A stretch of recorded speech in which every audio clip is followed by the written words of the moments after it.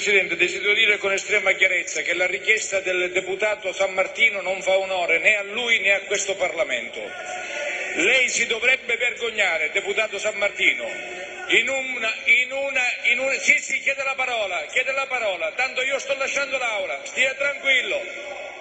Nel momento in cui tutta la comunità siciliana si aspetta chiarezza da questo Parlamento, nella legge di stabilità lei di votare di nascosto.